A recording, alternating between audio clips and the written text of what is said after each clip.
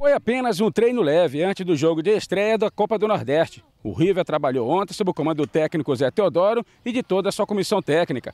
Mas o foco principal desses jogadores é a estreia no Nordestão. Competição onde tem equipes aí de ponta, é, equipes de grandes nomes.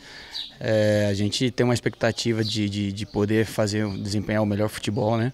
É, eu acho que a gente está vindo numa crescente, está melhorando. Sabemos ainda que tem que melhorar muitas coisas ainda, mas é uma estreia num jogo onde todo mundo quer jogar. Para o jogo de amanhã contra o Fortaleza, os jogadores destacam que o favorito, claro, passa a ser a equipe cearense, mas que o River também vai fazer sua parte dentro de campo. Jogar contra o Fortaleza, querendo ou não, Fortaleza é uma equipe grande do futebol do Nordeste, do Brasil todo, mas a gente tem que olhar de igual para igual agora. O Fortaleza está no mesmo patamar que nós. A gente respeita a equipe do Fortaleza, o escudo que eles têm, só que estão na Série C, estão na Copa do Nordeste, na Copa do Brasil nas mesmas competições que a gente está. Então, eles estão no mesmo nível que nós e a gente tem plenas condições de trazer um resultado positivo para dentro de casa. É, a gente sempre tem que buscar melhorar isso. Né, inclusive as grandes equipes né, sempre tentam isso. E nós aqui não, não podemos ser diferente. É, mas para a Copa do Nordeste, é, eu acho que o mais importante, né, por ser uma estreia, é que a gente possa é, ter, ter calma, ter paciência dentro do jogo é, né, e, e jogando na casa do Fortaleza, né? Então eu acho que é, a pressão maior para quem tem que buscar algum resultado é deles. Ele é considerado um dos heróis da equipe do River na temporada de 2015. O goleiro Nailson vai ter pela frente o ex-patrão, o ex-técnico Flávio Araújo.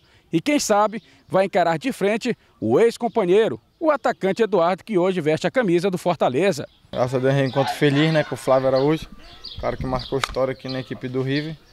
A gente sabe que ele sabe muito da nossa equipe, né? Assim também como a gente sabe da equipe dele, só que ele tem sabe bem mais e vamos tirar proveito, ele vai tentar tirar proveito disso e a gente vai tentar tirar proveito de outras maneiras, como acho que o professor Zé Teodoro vai formar uma tática, formar uma equipe para que a gente possa fazer uma ótima partida lá em Fortaleza sábado. E por falar em Flávio Araújo, o técnico Zé Teodoro do time tricolor reconhece que dentro de campo o Flávio Araújo vai ter uma surpresa desagradável com o time tricolor. Como já enfrentei várias vezes no campeonato do Nordeste, eu conheço mais ou menos a forma, a maneira né, do adversário, do, do Flávio trabalhar, mas vamos tentar fazer uma coisa diferente, né?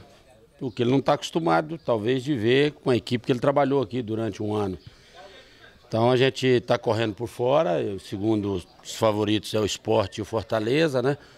E o River vai com humildade, mas vai jogar como time grande, vai buscar, vai um, surpreender já, quem sabe, na primeira rodada. Depois de deixar sua marca no jogo contra o Coriçabar pelo Campeonato Piauiense, o atacante Vanderlei espera brilhar mais alto, só que desta vez na Copa do Nordeste, no jogo do próximo sábado contra o Fortaleza, na Arena Castelão. A gente que, que joga ali na frente, a gente tem que ter calma. A gente sabe que as coisas vão acontecer naturalmente, né? E aconteceu. Agora é dar continuidade, né? Acredito que vai, vai aparecer mais oportunidade igual apareceu, poderia ter feito até mais alguns né? Mas é, é assim mesmo. A gente que e até porque também a gente sabe que independente de, de qualquer clube que a gente passa, a gente tá com a nove é uma responsabilidade muito grande. Então, graças a Deus, consegui fazer um gol e o melhor de tudo foi que o time saiu com, com o objetivo que era a vitória.